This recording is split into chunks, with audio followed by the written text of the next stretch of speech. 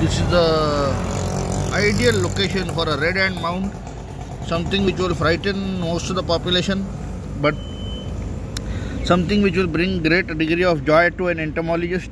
It's a very frightening proposition to stick your hand in here but uh, for the sake of my viewers i'm exactly going to do that without disturbing this mound of uh, this uh, red ant mound or uh, hill or whatever you call it in your language.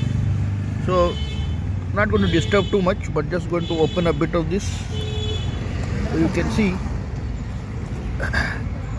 just to get an idea now you can see these queens and all which have come out. You see these are the these are probably the drones which will fly and all.